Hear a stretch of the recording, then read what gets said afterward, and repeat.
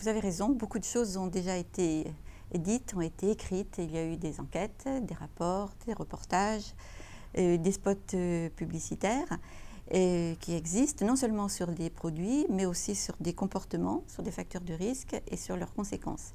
Alors vous le voyez, la liste est longue et cependant, malgré toutes ces marques de prévention, toutes ces répétitions de messages de prévention, on s'aperçoit que les résultats sont plus, que contrasté, même très, très, très contrasté.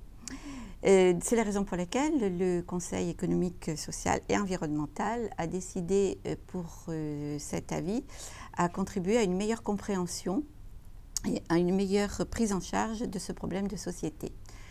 Nous le disons toujours que le Conseil économique, social et environnemental est un miroir de la société euh, civile organisée et c'est la raison pour laquelle nous nous sommes interrogés sur les moyens à mettre en œuvre pour que certains produits et comportements qui, sans être nécessairement prohibés, si bien je dis sans être nécessairement prohibés, ne soient plus un problème sanitaire, social et, économique.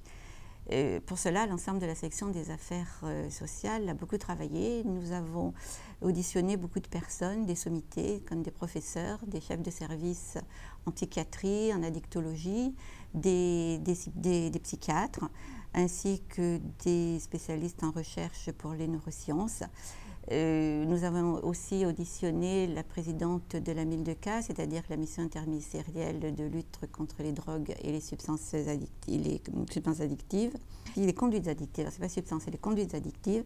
Et aussi, nous avons auditionné le président de l'autorité de la régulation des jeux en ligne il faut savoir, euh, si vous voulez, en plus que cet avis vient en amont d'une session spéciale de euh, l'Assemblée générale des Nations unies euh, qui va statuer sur une politique des drogues et, qui aura lieu en 2016. Donc je pense pour moi que cet avis arrive au bon moment. En fait, les chiffres parlent d'eux-mêmes. Et permettez-moi tout d'abord de vous en rappeler quelques-uns qui, euh, vous verrez, sont sans appel et qui illustrent vraiment euh, tout à fait qu'est-ce qu'est que la lutte contre les addictions, c'était vraiment un impératif sanitaire et social dont les enjeux euh, économiques sont considérables. Alors, parmi ces, chiffres, il faut savoir que les addictions sont responsables d'un décès sur cinq en France et concernent environ 120 000 morts par an. 120 000 morts par an. 5 millions de personnes ont un problème avec l'alcool et dans ces 5 millions de personnes, 3 millions 800 000 un comportement problématique, une consommation qu'on appelle à risque. Euh, cette consommation problématique s'est banalisée chez les femmes et euh, elle a tendance à augmenter avec des risques de complications, donc typiquement euh, féminines. Je vais vous dire aussi un mot sur les consommations ponctuelles des jeunes. Cette consommation a beaucoup augmenté et c'est ce qu'on appelle le binge drinking et c'est un problème qu'on est obligé, qu'on sera obligé de, traiter. Ces jeunes, on le sait, c'est un public d'appel pour le marketing et je crois que nous devons essayer de nous occuper de ce problème.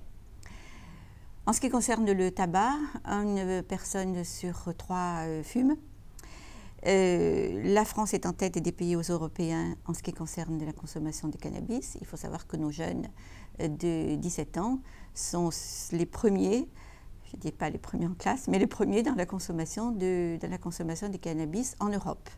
Donc euh, c'est quand même euh, quelque chose qu'il faut, euh, qu'il faut régler.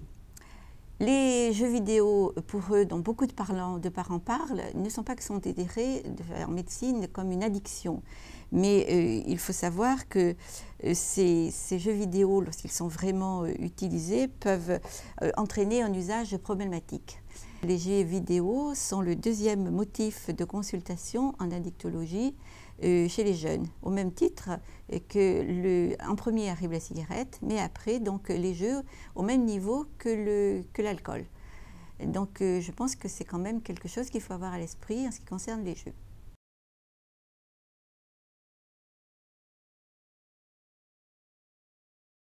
L'addiction, c'est une perte de liberté. Et il faut surtout changer le regard qu'on porte sur les personnes qui sont addictes. Donc le, Conseil économique, social et environnemental a eu en effet à cœur de mettre au centre de ses préconisations l'intérêt de la personne souffrant d'addiction Donc la maladie doit être reconnue. Et ça, j'insiste parce que l'addiction est une maladie. Et il est indispensable, mais vraiment indispensable, c'est une priorité, de lever la stigmatisation qui pèse encore sur les addictions, afin que les personnes euh, demandent davantage d'aide, demandent davantage de soutien, et ceci euh, plus rapidement. Il ne faut pas avoir honte de demander lorsqu'on pense qu'on est addict à une substance. Alors, guidés par ce, principe, nous avons donc plusieurs euh, préconisations autour d'axes qui sont essentiels.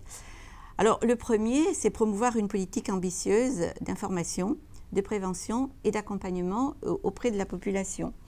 Euh, il, faut renforcer ce que j'appellerais, moi, la prévention primaire, c'est-à-dire une véritable éducation sur les lieux de vie, une éducation de la santé, euh, sur les lieux de vie, que ce soit le travail, que ce soit à l'école. Et ensuite, il faut euh, augmenter, améliorer la prévention euh, secondaire. Et pour cela, il faut faire un repérage précoce et ensuite une, prise en charge rapide de ces personnes souffrant d'addiction. Dans la deuxième préconisation, je vous dirais qu'il faut, et bien sûr, L'argent compte toujours. Il faut pérenniser les moyens consacrés à la lutte contre les addictions, surtout les pérenniser. Je ne demande pas d'augmenter, mais au moins les pérenniser parce que c'est vraiment indispensable. Il faut encadrer les stratégies de marketing, on l'avait vu tout à l'heure pour les jeunes. Il faut contrôler l'action des lobbies, que ce soit l'alcool, le tabac et les jeux auprès des parlementaires. Et il faut mettre euh, en place, en œuvre, une véritable politique de réduction des risques.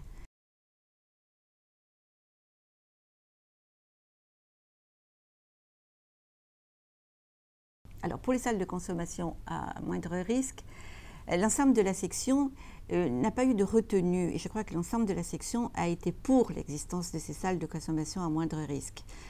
Euh, il faut savoir aussi que l'Assemblée nationale a pris de vifs débats, et c'est pas vieux, je crois que c'était en avril dernier, a voté pour l'expérimentation pendant six ans de ces salles de consommation à moindre risque. Et le CESE considère quant à lui qu'il doit faire une évaluation euh, très strict de, son impact, mais qui soit mesuré euh, tant au regard de la santé des personnes que du maintien de l'ordre public. Alors pour ce qui concerne le cannabis, euh, vous le savez, ben, nous le savons tous, qu'une politique répressive a été, été menée. Et cette politique répressive est pour moi très justifiée parce que le, cannabis est, est, quelque chose de très toxique. Il faut savoir que euh, cette consommation est dangereuse et tout particulièrement pour les jeunes. Nous sommes le pays en Europe dont l'usage est le plus répandu et nous devons sortir absolument de cette impasse. Alors qu'est-ce qui se passe en France? Donc je vous ai dit une politique répressive justifiée par des impératifs de santé publique, mais en fait qu'est-ce qui se passe? La consommation de cannabis est un délit, mais cette sanction n'est pas systématique. Parce qu'un délit, ce qui veut dire peine de prison et ce qui veut dire euh, peine financière extrêmement élevée. Euh, c'est la raison pour laquelle la sanction n'est pas systématique, parce que lorsqu'on prend un jeune euh, en train de fumer du cannabis, bien évidemment, il est très difficile de lui donner des peines de prison ou lui donner une, peine, peine pécuniaire qui soit trop importante. Donc, pour notre Assemblée, il est nécessaire de faire un débat public sur l'échelle des sanctions pour la consommation de cannabis. Et cette, cette échelle des sanctions doit être posée, je pense que c'est très important. Euh, si on ne l'a pas réglé, c'est qu'il y a eu divers euh, positionnements et réflexions en cours euh, qui vont d'une part au maintien du statu quo actuellement, mais qui peuvent aller aussi de sur de la légalisation ou encore de la dépénalisation de l'usage. Et en passant, ce que moi je souhaiterais, ce que j'appelle de mes voeux, mais ça n'a pas été décidé comme ça, par des sanctions contraventionnelles. Voilà, donc puisque nous ne sommes pas arrivés à prendre une position, euh, je pense que, et c'est, je crois, ce qui vraiment il y a de mieux à faire, et c'est là où le Conseil économique peut jouer vraiment euh, son rôle, je vous le disais, je le redis, donc société civile organisée, nous devrions prévoir en notre sein, il doit prévoir à son sein un débat public avant la session spéciale de l'Assemblée nationale de l'ONU qui aura lieu en 2016. C'est ce que j'appelle de tous mes voeux, c'est un débat, mais pas un débat de spécialistes.